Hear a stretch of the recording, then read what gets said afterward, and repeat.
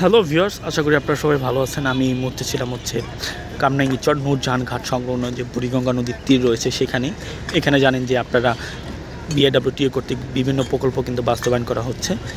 সেটাকে আমরা বুড়িগঙ্গা রিভার প্রজেক্টই বলি এবং এই রিভার প্রজেক্টের আলোকে কিন্তু চারপাশে ঢাকা, চারপাশে চারটা নদী কেন্দ্রিক কিন্তু কার্যক্রম পরিচালনা করার কথা। সেগুলো কিন্তু করা হচ্ছে বা চলমান রয়েছে প্রক্রিয়া। সেই তারই ধারাবাহিকতা কিন্তু আমি এখানে আসছিলাম। প্রকল্প দেখতে এবং এখানে জানেন যে ওয়াকওয়ে নির্মাণ করা হয়েছে কি ওয়াল নির্মাণ করা হয়েছে আশিসি সিঁড়ি নির্মাণ করা হয়েছে। ভাসমান যেটি আনারও কথা রয়েছে, সেগুলো তো আছে এবং সৌন্দর্য বর্জনের জন্য গাছও লাগানো হয়েছে, সেগুলো দেখতে পাচ্ছেন আপনারা। এবং এখানে মূলত ফিনিশিংয়ের কাজ করা হচ্ছে, যেটা দেখতে পাচ্ছেন। ফিনিশিং করার পরে কিন্তু এটা সৌন্দর্যতা আরও বৃদ্ধি পেয়েছে এবং এটাকে রং করা হবে। রং করার পর টাইলস বসানোর কথা। তো যেখানে ফিনিশিং করা হয়েছে, সেই অংশটুকু আপনাদেরকে ঘুরে দেখাবার আমরা চেষ্টা করব আজকে। তো চলুন, কথা না বাড়িয়ে যে ফিনিশিং করা হচ্ছে, সেই অংশটুকু আপনাদেরকে ঘুরিয়ে দেখাই। বর্তমান অবস্থা কি আছে, ওয়াই ওয়াকওয়ের যেখানে ফিনিশিং করা হয়েছে, সেই জায়গাটা আপনাদেরকে ঘুরিয়ে দেখাই এবং কিছু কথা বলি আপনাদেরকে, কিছু তথ্য জানাই। সেটা হচ্ছে যে, আপনারা জানেন যে, এই বুড়িগঙ্গা এখানে কিন্তু বিশাল বিশাল ভবন ছিল, স্থাপনা ছিল, অবৈধ স্থাপনা টিনেরই অবৈধ স্থাপনা মিল ছিল এবং অনেক কারখানা কিন্তু এখানে ছিল, যেগুলো কিন্তু ঢাকার বিআইডাব্লিউটিএ ঢাকা নদী বন্দর কর্তৃপক্ষ এবং বিআইডাব্লিউটিএ তারা কিন্তু কিন্তু এগুলো উদ্ধার করেছে এবং উদ্ধার করে কিন্তু নদীর জায়গা নদীকে ফিরে দেওয়ার চেষ্টা করেছে তারা এবং নদী যেন আবাল দখল না হয়ে যায়, সেখানে কিন্তু তারা অনেকটা দ্রুতভাবে কিন্তু প্রকল্প হাতে নিয়েছে এবং প্রকল্প বাস্তবায়ন করছে, তারই ধারাবাহিকতায় কিন্তু এখানেও কিন্তু এই কাজগুলো করা হচ্ছে। এবং দেখতে পাচ্ছেন ফিনিশিংয়ের জন্য এটা যেন আরও স্থায়িত্ব হয়, সেটার জন্য কিন্তু পানি দিতে হয়। জানেন যে যারা এই নির্মাণ কাজের সাথে সংযুক্ত আছেন বা তার যারা কোন দিন এগুলো নির্মাণ করেছেন, পাকা স্থাপনা, তারা জানেন যে এখানে কিন্তু পানি অবশ্যই দিতে হয়। সেটার জন্য কিন্তু এখানে দেখতে পাচ্ছেন পাটের ই আছে, এগুলো কিন্তু ব্যবহার করা হয়েছে যাতে এগুলো পানি যেন দীর্ঘস্থায়ী থাকে এবং এগুলো স্থায়িত্বটা আরও বৃদ্ধি পায়। সুন্দর বাতাস বইছে, আমি দেখতে পাচ্ছি। এবং গা, যেখানে সৌন্দর্য বর্ধনের জন্য যে গাছগুলো লাগানো হয়েছে, সেগুলো গাছগুলো নড়ছে, যেগুলো দেখতে অবশ্যই সুন্দর লাগছে। এবং আমরা কিন্তু সেই ওয়াকের পাশ ধরে কিন্তু হেঁটে যাচ্ছি। এবং সেটা কিন্তু দৃশ্যটা হচ্ছে মনোরম। যখন এখানে পানি আরও বাঁধবে বিশেষ করে বর্ষা মৌসুমে, সেটা কিন্তু দৃশ্য আরও অপরূপ লাগবে।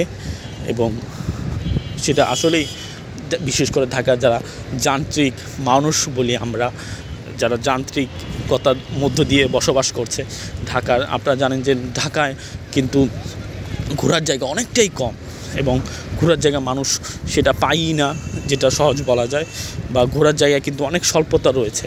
তারই এখানে কিন্তু সেই স্বল্পতা আপনারা কিছুটা হলেও দূর হবে, বিশেষ করে ঢাকা চারপাশেই কিন্তু এগুলো নির্মাণ করা হচ্ছে। চারপাশে যে চারটা নদী আছে, সেগুলো কিন্তু দিকে নির্মাণ করা হয়েছে।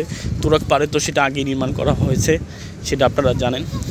আমরা সেগুলো অনেক ভিডিও প্রকাশ করেছি, যখন উচ্ছেদ অভিযান শুরু হয় তুরাক পাড়ে সেগুলো তো প্রকাশ করেছি এবং উচ্ছেদ অভিযানের পর প্রকল্প বাস্তবায়ন থেকে শুরু করে, সেগুলো কিন্তু আমরা দেখিয়েছি আমাদের ভিডিওতে এগুলো অবশ্য পুরাতন ভিডিও চাইলে আপনারা খুঁজে নিতে হবে আপনাদেরকে, একটু কষ্ট করে।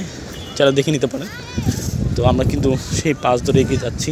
এরপরে বুড়িগঙ্গা নদীর তীরে খনন এই খনন করার থেকে শুরু করে সব কিছু কিন্তু এখানে করা হয়েছে এবং আরও করতে হবে, যেগুলো আমরা দেখেছি। এই যে আপনারা দেখতে পাচ্ছেন, এই পাশটাকে কিন্তু কিওয়ালের পাশে থেকে কিন্তু নদী শুরু হয়ে যাওয়ার কথা।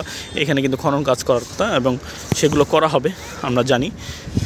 সেগুলো অবশ্যই করা হবে এবং বিআইডব্লিউটি এরকম পরিকল্পনা রয়েছে, সেগুলো কিন্তু আমরা আগের থেকে জানি বা আমাদেরকে তথ্য দেওয়া হয়েছে, যেগুলো হচ্ছে ওগুলো মাটি যেগুলো আছে, এগুলো সরিয়ে নিয়ে যাওয়া হবে এবং এগুলো গভীরতা করা হবে। মাটির এখানে কি ওয়াল থেকেই নদী শুরু হবে, এরকম কিন্তু কথা আমাদেরকে জানানো হয়েছে। এবং আমি ছিলাম হচ্ছে যেখানে ফিনিশিং করা হয়েছে সেই জায়গাটুকুতে এবং সেই জায়গাটায় কিন্তু আমি এগিয়ে যাচ্ছি এবং সামনে আমি খোলামোড়া ঘাট সংলগ্নের জায়গা আছে, সেখানে এগিয়ে যাচ্ছি।